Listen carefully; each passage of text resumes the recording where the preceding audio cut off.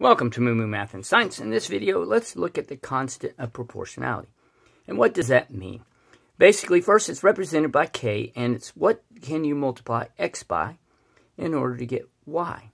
So let's do this. If y is equal to the constant times x, let's solve for k. We're going to divide each side by x. These cancel. Divide the y by x. So k is equal to y divided by x. So let's use this formula, k equals y divided by x, to solve this problem. Graph represents the price of cheese which is sold by the pound. What is the constant of proportionality for the cheese? Well, let's use this graph and let's look and see where it intersects exactly. And if I move up, I see this point right here.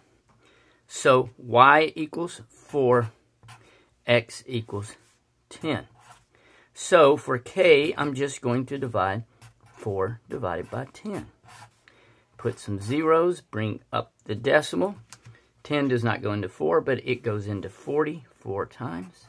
4 times 10 is 40. 0 remaining. Bring down to 0. 10 goes into 0 0 times. So k equals uh, basically 40 cents.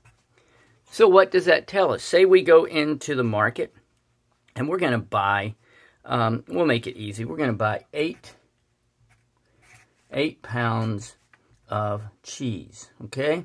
So 8 times 0.4 is 3.20, or it's going to cost us $3.20. Let's work another example. Okay, this time we're going to shop for apples. Graph rep represents the price of apples, which are sold by the pound. What is the constant proportionality? Again, I'm going to search for the point where they intercept exactly, and we have a 4 and a 6. So k is equal to y over x. y is 4, and x is 6. So now I just take 4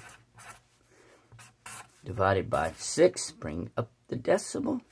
Okay, 6 does not go into 4, but it goes into 46 times. 6 times 6 is 36. Subtract. Bring down this 0. Okay, 6 goes into 40 once again. 6 times. Let me add a 0. 6 times 6 is 36. Subtract.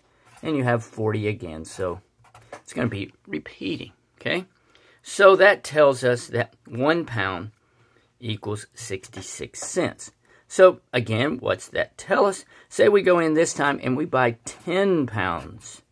Okay, 10 pounds of apples. It's going to cost us $6.60 because I just multiplied 10 times 0.66.